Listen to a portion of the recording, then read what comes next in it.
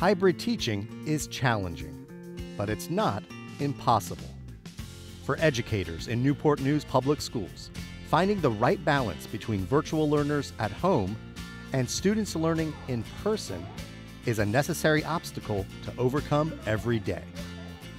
It's been interesting taking on this challenge because, I mean, you get stuck teaching the same way. So it's nice to learn something new. I feel like it's been a big adjustment, um, especially for kindergarten, because we are so used to using so many manipulatives and games and hands on things um, that we've really had to adapt in the way of using other things, other resources, um, in order to make that work.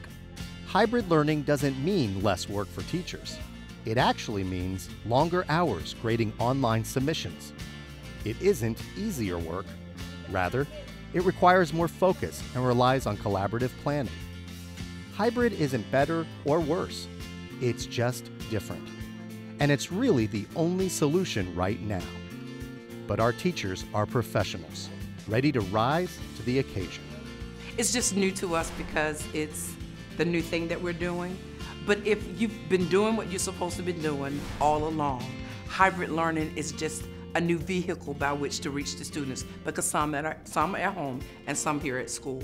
Teaching is teaching. Uh, what I'm amazed by is how effective it's been. I mean, uh, to force myself to zero in on the exact learning points that get captured by an electronic assignment uh, and that targeted type of learning has also forced me to target uh, as well my instruction.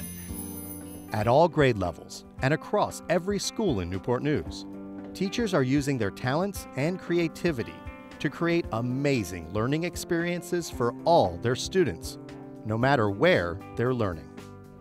In elementary school, most of the day is focused on the flip flop method of teaching, where educators only have to focus on either their roomies or Zoomies at any given time. But during morning meetings and certain subjects throughout the day, teachers must teach their in person and virtual students concurrently.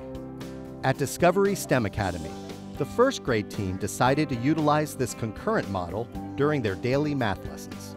I learned that my virtual kids couldn't really hear me that well with the mask, so then we got um, headsets with a microphone, so that really helped. My kids here have to be ready on time when my virtual kids are signed into Zoom, so I have to make sure they're not distracted. So we've been we've been forced to be creative in the way that we teach our little ones.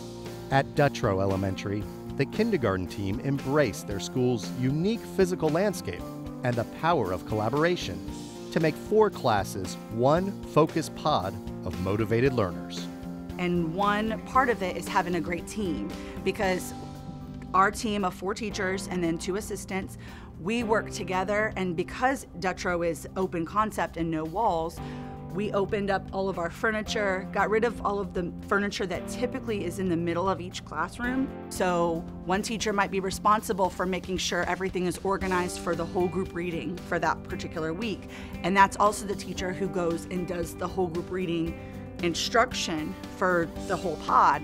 And then what goes on is after the whole group reading or after the whole group math, we dial back into our individual classes. At the middle school level, teachers at Washington Middle School utilize the technology at hand to encourage students to share ideas and learn together. During art instruction, students are organized into small groups, allowing young artists to lend their individual talents to one piece of art. While English teachers use virtual breakout rooms to spark classroom discussions among students joining in online from home. At the same time, Students learning at school enjoy a lively classroom conversation with their hybrid peers. At Menchville High School, hybrid learning helps to level the learning curve for English language learners. Talented educators teach the universal language of mathematics to students who speak different native languages. Uh, I'm fortunate that my collaborative teacher is fluent in Spanish, but that's not a requirement, and, and that's not ever expected to be a requirement. Uh, but I will talk for uh, anywhere from uh, one to two minutes, um, whether it's what we're going to do or what the lesson is, and then I will pause and I will mute and, and she will talk. And she's going to say exactly what needs to be said in her own words to communicate the same ideas that I just did. And then she'll stop and uh, she'll kick it back to me. Algebra 1 educators at Heritage High School crunched the numbers and found out that 1 was greater than 4.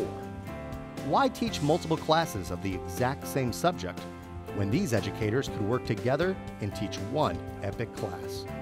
We have what we call the Fabulous Four.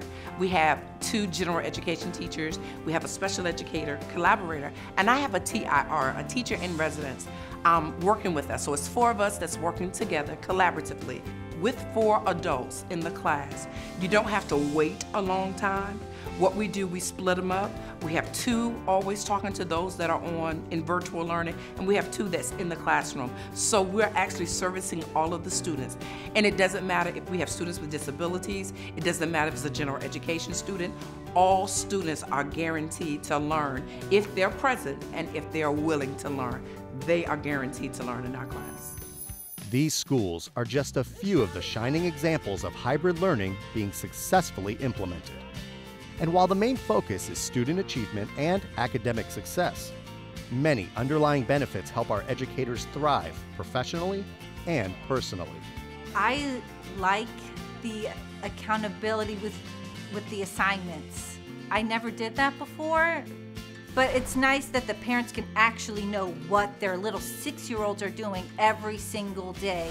Whereas before, you know, maybe their kid would come home and say, like, I don't know what I did, uh, adding or something.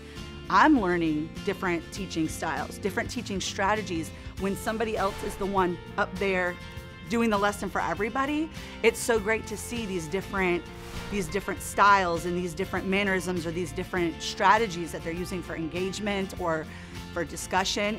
Every day you don't feel like putting on your cape and saving the day. But that's when you have someone that's in your corner that's speaking your language and saying, you can do this. And where you may not feel like doing it, I'll bring up the rear. We'll take care of it. So we bounce off of each other. We make sure that everyone is okay, mentally, socially, emotionally, not just the students, but the teachers as well.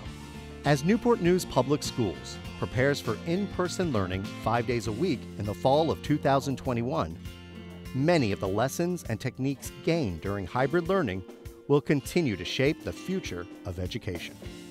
Um, it's forced me, frankly, to have a lot of good electronic assignments. In fact, all my assignments are electronic. And although it has admittedly been painful to build them, they're really good assignments. I mean, I'm proud of them, and I'm going to use them again and again. I feel like this year has brought us even closer together as a team and as feeling feeling confident enough and um, comfortable enough to share ideas and to do all of those um, that collaboration together. I feel like we could carry that over to next year too. To me, this year has really taught us a lot of things. It has taught us how to survive, but not just how to survive, but how to thrive in the surviving. I want to say hooray to the teachers and the staff and the faculty that took this as it's a new year, a new day. I believe we've done well. I do believe we've done well. We're here to save another year. Teachers, congratulations.